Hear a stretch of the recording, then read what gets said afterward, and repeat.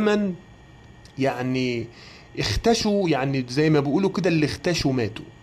ولحد إمتى؟ المتآمرين على النادي الأهلي هيفضلوا موجودين.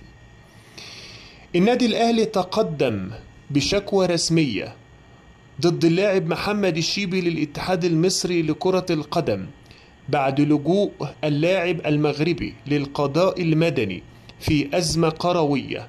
خمس شهور كاملة شكوى الأهلي عند اتحاد الكرة دون أي قرار رادع ضد الشيبي رغم. اعتراف اتحاد الكرة الفاسد رغم إن اتحاد الكرة الفاسد اعترف في خطابه الرسمي إلى نادي بيراميدز إن محمد الشيبي اللاعب المغربي المحترف في صفوف بيراميدز خالف اللوائح ولوائح النظام الأساسي يعني اتحاد الكرة الفاسد أرسل لبيراميدز قال له الشيبي خالف اللوائح بس مفيش عقوبة. خمس شهور كاملة اتحاد الكرة الفاسد في انتظار. في انتظار إيه؟ في انتظار صدور حكم قضائي بالسجن ضد حسين الشحات. تخيلوا اتحاد الكرة المصري كل ده ما أصدرش قرار. ده أنا هضحكوا كمان شوية. ولما تحقق الحكم هدفهم امبارح وصدر حكم ضد حسين الشحات بالحبس لمدة سنة مع إيقاف التنفيذ وغرامة مئة ألف جنيه والحرمان لمدة خمس سنين من عضوية أي نادي رياضي. الحكم طلع من هنا جمال علام والفاسد حازم إمام والفاسد وليد العطار عملوا اجتماع طارئ في اتحاد الكرة وطلعوا قرارهم بإيقاف محمد الشيبي ست مباريات فقط وغرامة مئة ألف جنيه دون أن يشمل القرار حتمية تنازل الشيبي عن القضية وإلا يتم شطبه. ده ما تحطش في القرار. قرار اتحاد الكرة بإيقاف الشيبي بعد ساعات من قرار المحكمة بسجن الشحات بيؤكد إن الموضوع كله سيناريو. صح كده؟ سيناريو. اشمعنى اتحاد الكرة المصري ما أصدرش قرار ضد محمد الشيبي تمام؟ غير يعني غير لما اتعمل عليه حكم بالحبس. ليه الاتحاد المصري جاي دلوقتي يعلن؟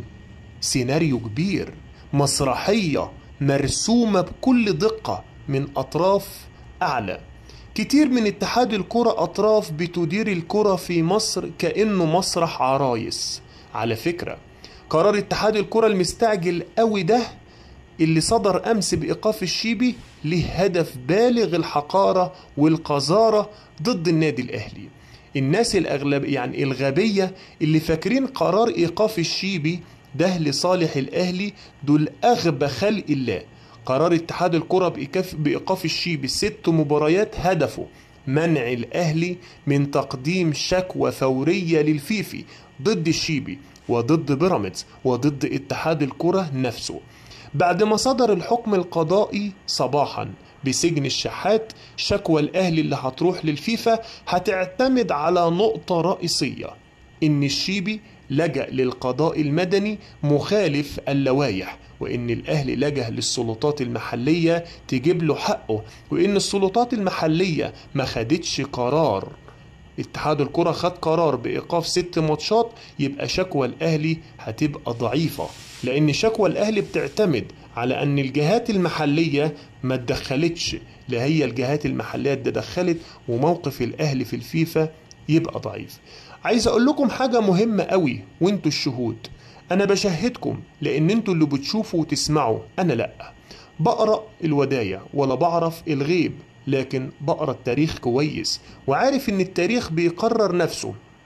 فعشان كده قلت لكم في يعني حلقات كتيرة قوي قوي إن اتحاد الكرة لن يتدخل في قضية الشيبي والشحات إلا بعد صدور حكم بالسجن ضد الشحات. وسبحان الله اللي قلته حصل بمنتهى الدقة.